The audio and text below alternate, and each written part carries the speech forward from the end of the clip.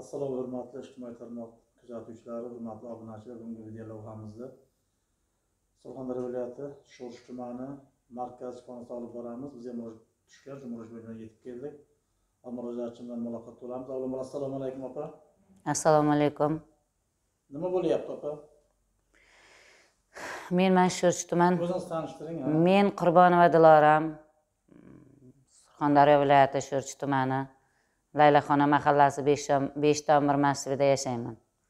Men hozir mm, mana shu kechagi kunduz sho'rchi tuman markaziy tibbiyot birlashmasida ginekologiya bo'limida qizim tog'ayeva madina shu bo'limda yotibdi.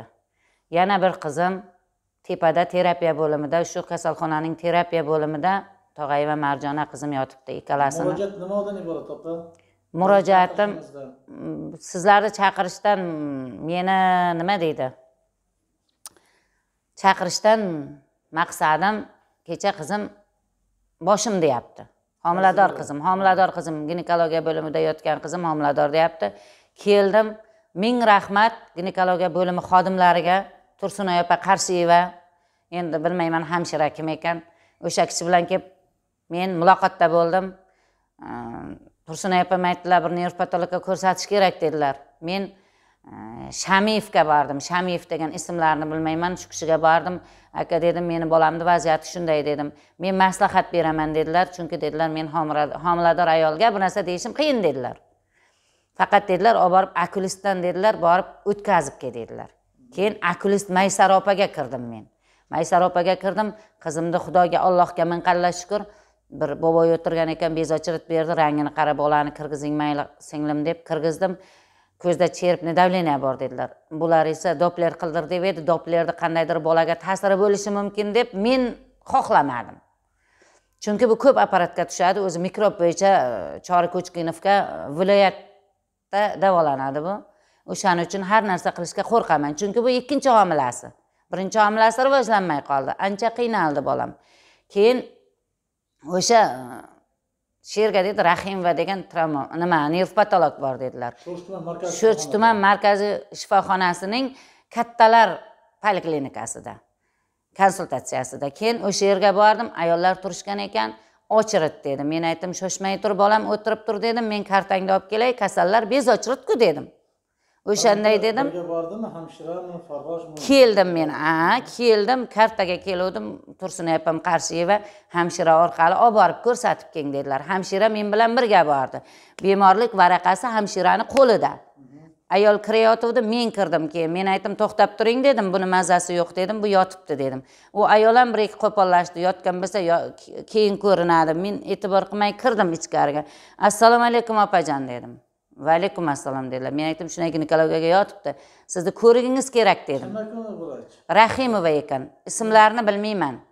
Keyin esa u kishi menga qarab aytyapti men yotgan kasalni ko'rmayman deyapti. Yotgan kasalni ko'rmayman yotgan kasalni shamiyev ko'radi dedi. Men aytdim siz ayolsiz opa dedim shamiyev dedim buni homiladorligi haqida maslahat beraman bir narsa deyolmayman deyapti. Ha siz ham bir ko'rib bering dedim. Ko'rmayman dedi. Nima uchun gipokrat qasamini ichgansiz? Nimaga ko'rmaysiz dedim. To'g'ri vaziyatdan chiqqan bo'lishim mumkin. Pullilarni ko'rasizmi dedim. Shunday dedim.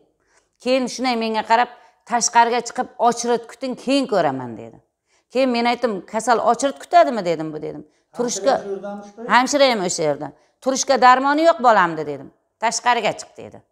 Shunday chiqdimda majbur bo'ldim men sizni chaqirishga.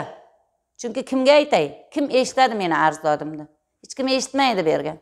Chunki ikkita bolasini orasidaman tepaga chiqaman. Buni mazasi qochadi pastga tushaman yana tepaga chiqaman. Mana shu holatda qoldim. Keyin esa chiqdim zalga turdim sizga telefon qildim. Sizga telefon qilganimdan keyin hammasi turib keyin bosh hamshira kelyaptida rayhon degan hamshirasi bor ekan. Kelyaptida bu keng deb men olib borgan hamshirani xonasiga olib kiryapti unga. Keyin men kiryapman. Men aytdim bunga hech narsa demang dedim. Men keldim dedim. Muomala bilan gapirdim bu vrachga dedim. Nima uchun bu o'tiribdi bo'lmasam dedim. Bu odam tanlab ko'rsa dedim. Mayli dedim. Bu odamdan bu odam bu doktordan bu doktor yaxshi deydi dedim. Eskini bir gapi borku dedim. Masalan bu qushnochdan bu qushnochi yaxshi bu folchidan bu folchi yaxshi degan gap bor. O'shaning uchun ixlos bilan keluvdim men bu ayolni oldiga dedim. Ko'radi dedi. Endi ko'rsatmayman dedim. Keyin o'sha yerga turgan yigitlarni ham bir ikkita yigitlar sizni izlashdi kelsin bizni ham murojaatimiz bor. Shunaqa shunaqa deyishdi. Endi siz vaziyatdan chiqib kelolmadingiz kecha aka. Mana bugun kelibsiz. Men sizga bugun mana shu vaziyatni tushuntirib aytyapman. Men bitta narsani iltimos qilamanki mayli o'sha bemorni ko'rmasin shirin gap bilan gapirsin. Muomala qilsin. Muomala madaniyatini o'rgansin. Ularga psixologiya o'tadiku masalan? Yetti yil o'qiydi. Hozir amaliy yordam kimdan so'raysiz opa men amaliy yordamni eng avvalambor surxondaryo viloyati sog'liqni sa- saqlash vazirligidan so'rayman. Boshqarma boshqarmasidan keyin ikkinchisi respublika sog'liqni saqlash vazirligidan so'rayman.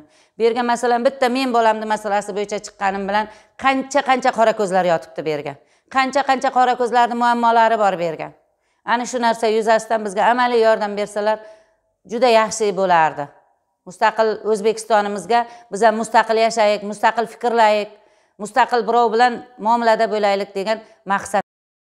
Mayli qizim uchun mana shu xalq so'rayman.